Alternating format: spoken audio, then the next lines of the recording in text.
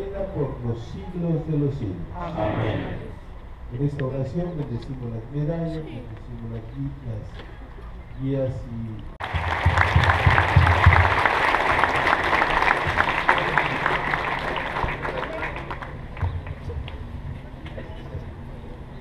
Bien, vamos a entréguense, les van a decir conmigo estas palabras. Recibe esta medalla con la cual honrarás en tu peregrinar diario a la Santísima Virgen María, viviendo tu peregrinación como si fuera la única de tu vida, de tal manera que esta peregrinación la vivas todos los días de tu vida. Y la desalcados contestan fuerte. Amén.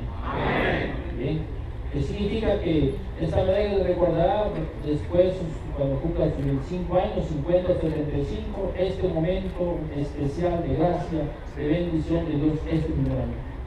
Vamos a leer este, este folleto y otros más, porque hay unos que complementan este para conocer lo que significa el acontecimiento guadalupano y todo el, todo el,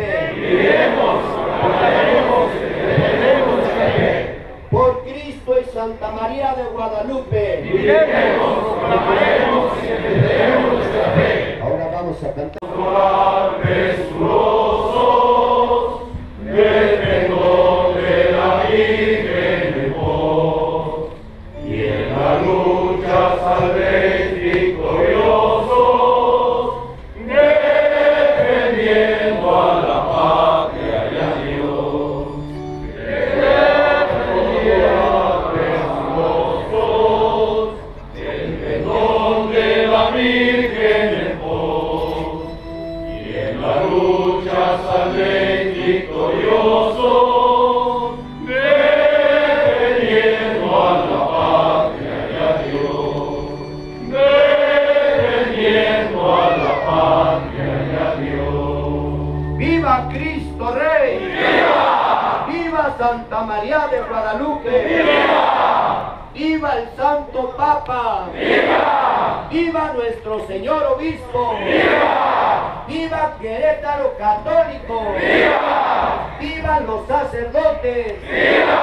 aquello supere eh, cada año que vamos recorriendo y no solamente por superar sino también porque crece el fervor guadalupano y crece eh, la tarea que los sacerdotes están haciendo en, en la diócesis. Yo pienso que el mérito es de los sacerdotes que trabajan de manera incansable impulsando la misión permanente en, en esta porción de la iglesia que es Querétaro. Calculamos más de 150 mil, ¿sí? Con los Eh, peregrinos, con 50 y tantos. Tenemos la esperanza de que, eh, contando también a los que caminan por su cuenta, que esperemos un día se unan al rebaño.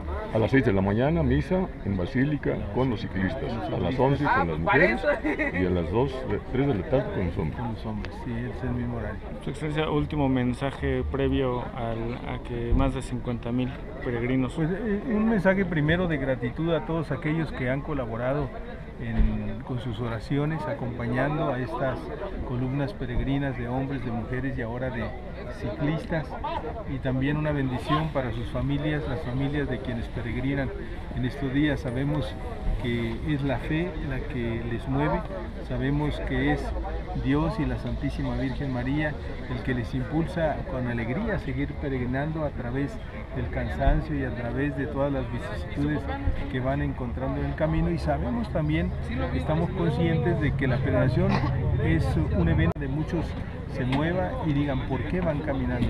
Frutos espirituales de esta romería, A señor. mí me parece que son muchos, sobre todo en el corazón de cada una de las personas y nosotros lo vemos en las largas filas de incontables penitentes que se acercan para recibir el sacramento de la reconciliación y para poder recibir a Jesús, porque no es peregrino aquel que camina sin Jesús.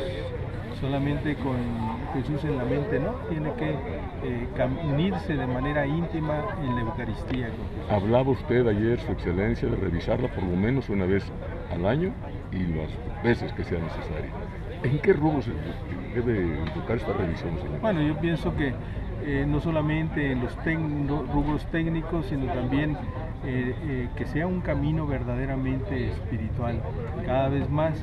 Y también el gran reto es a que cada vez siento a lo largo del año en cada una de las comunidades viendo la importancia de la comunión.